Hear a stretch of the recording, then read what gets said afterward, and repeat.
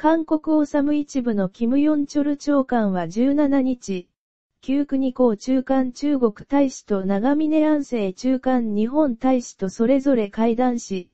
北朝鮮の非核化交渉など朝鮮半島問題に対する関連国の協力を要請する予定だ。キム長官はこの日午後2時30分、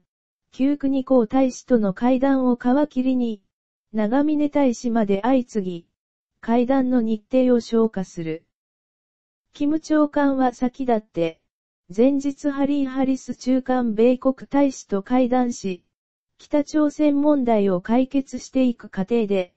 緊密な韓米協力が必要だと要請した。なお、キム長官は、北朝鮮の非核化交渉と関連して周辺諸国の協力を要請する方針だ。